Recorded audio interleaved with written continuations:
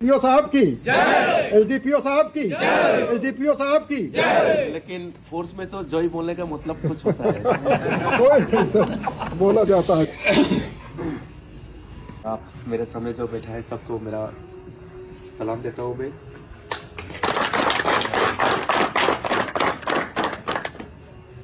लफ्ज नहीं मिल रहा है कि मैं क्या बोलूँ। एक्चुअली बाबू को जाता हूँ इतना प्यार मिलके आपसे। तो उम्मीद नहीं था इतना आप लोग मेरे लिए करेगा, लेकिन फिर भी विश्वास है, आप सब हमसे बहुत प्यार करते हैं।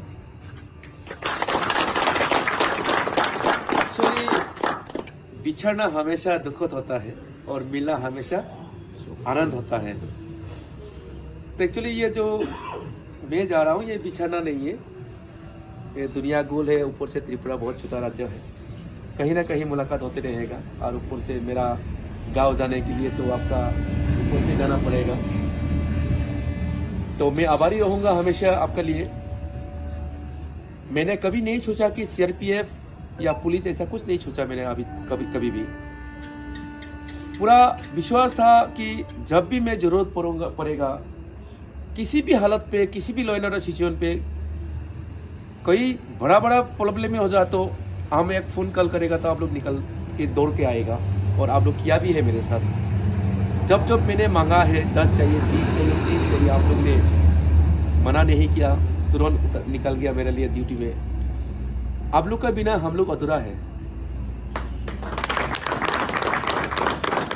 एक्चुअली आप लोग हैं सेंट्रल फोर्स और हम लोग हैं स्टेट पुलिस हम सब भाई भाई हैं। एक दूसरे के बिना हम लोग कुछ कर नहीं पाएगा। और ये हमारा टीम वर्क है। चौदह महीना हो गया। फिर अभी नया असाइनमेंट लगा है आमतुली में जाना है। वो और भी बिज़ी एरिया है अगरतला। यहाँ इधर ना, नागरजला तक नागरजला तक इसका एरिया उधर सूर्यमणि नगर पार होके सेकेंड फुट शायद एडी नगर पुलिस स्टेशन जहाँ पे नौकरी करके आया है।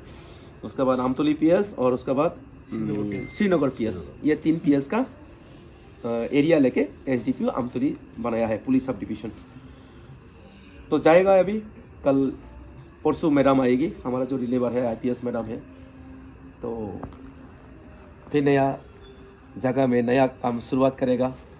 कहीं पे भी आप लोग मुलाकात होता है, या तो कहीं भी ज़रूरत पड़ता है, कानून के बारे में, या तो कुछ के बारे, किसके बारे में जानकारी लेना है तो मेरा फ़ोन नंबर तो आपके पास है, या तो सर का पास है फ़ोन कीजिए बेशक फ़ोन कीजिए। हम बोलते हैं ना सर ने कि कभी भी फ़ोन करता है तो पकड़ लेते हैं। हाँ मैं करता हूँ। पकड़ नहीं पाने से भी ना मिस कॉल देखता हूँ तो मैं फिर कॉल बैक भी करता हूँ।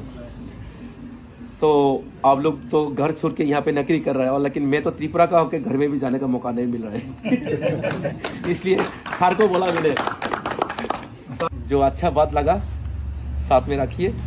जो अच्छा नहीं लगता है तो कुर्सी के नीचे दबा के चला जाइए। थैंक यू सबको। धन्यवाद महोदय, विदाई समारोह पर एक छोटा सा प्रोग्राम रखा गया था। अब यहाँ पर हम इस प्रोग्राम को सर खत्म करते हैं।